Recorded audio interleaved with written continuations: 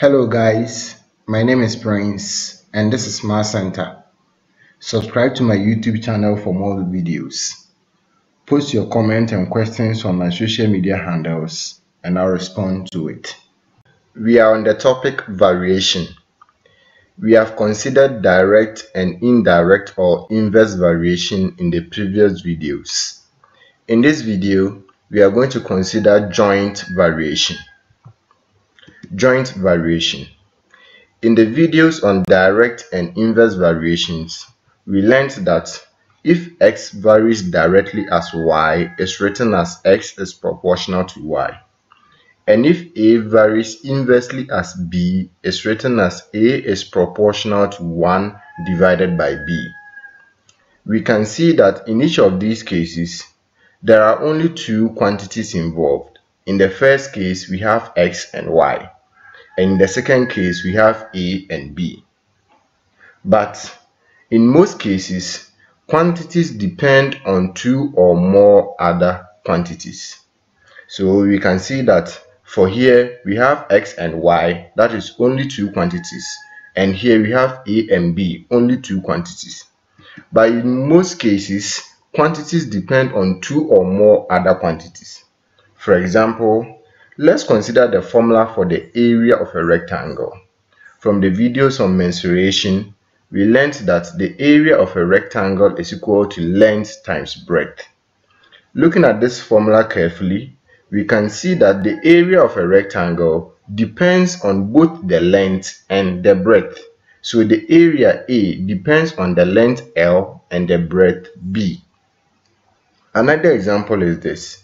The density of a material is equal to the mass of the material divided by its volume. So for density, it depends on the mass and the volume of the material. So density depends on two other quantities, mass and volume.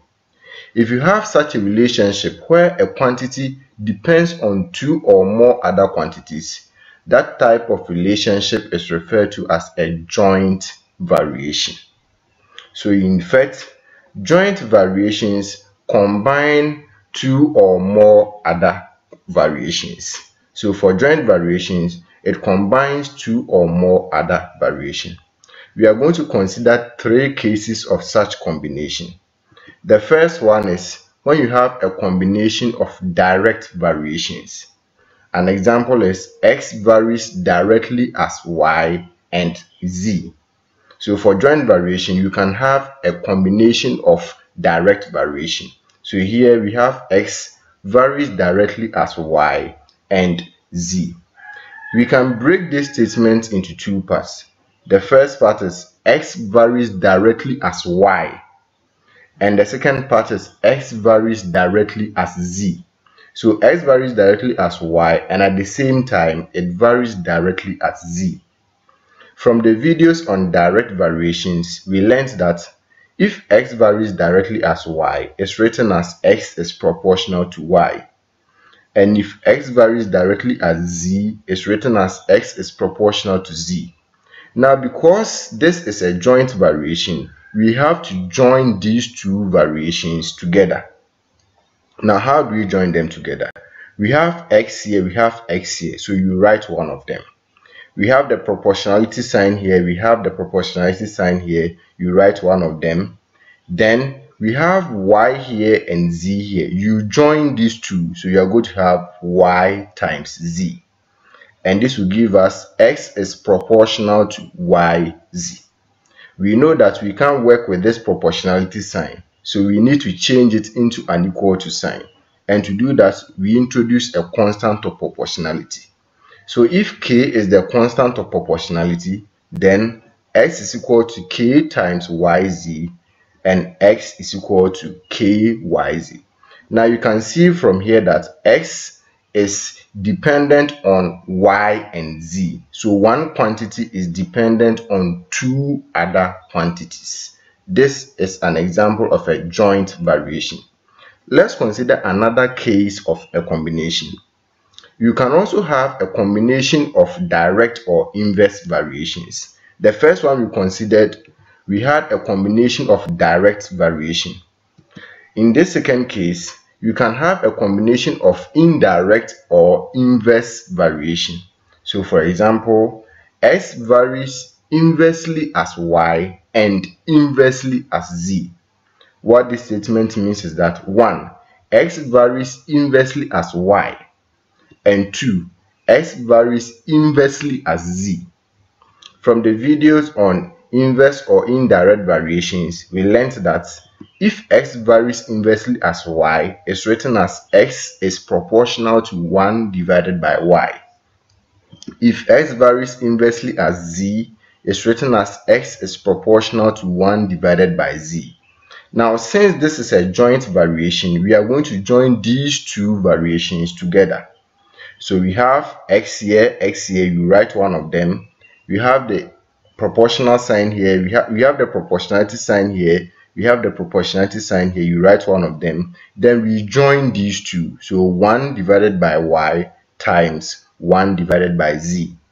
And this will give us x is proportional to 1 divided by yz we are going to introduce the constant of proportionality. That means that we can change this proportional sign to an equal to sign. So if k is the constant of proportionality, then x is equal to k times 1 divided by yz. And this will give us x is equal to k divided by yz. Now, since k is a constant, we can see that x is dependent on both, on both y and z. This is another case of a joint variation. We are going to consider the third type of combination. That is, you can have a combination of a direct variation and an inverse variation. So in the two examples that we considered, we had a combination of direct variation and a combination of inverse variation. Here, in the same variation, you have a direct variation and an inverse variation. An example is this x varies directly as y and inversely as z. So in the first case, s varies directly as y. And in the second case, x varies inversely as z. Now, how do we write this? We learned that if x varies directly as y, it's written as x is proportional to y. If x varies inversely as z, is written as x is proportional to 1 divided by z. So if we are combining these two, we are going to have x is proportional to y times 1 divided by z. Since we have x here, x here, you write only one of them. You write one of the proportionality signs, then you combine these two. So we have y times 1 divided by z and this will give us x is proportional to y divided by z. We are going to change this proportionality sign to an equal to sign. So we are going to have x is equal to k times y divided by z by z since k is the constant of proportionality. So we have x is equal to k times y divided by z. And this is going to give us x is equal to ky divided by z. Now, we know that k will be a constant. So we can say that x is dependent on both y and z. This is another case of a joint variation. So we've considered three cases. When there is a combination of direct variation, when there is a combination of inverse or indirect variation, and when there is a combination of both direct and inverse variation. So when there's a combination of direct variation, that is x varies directly as y and z, x is equal to kyz when k is the constant of proportionality.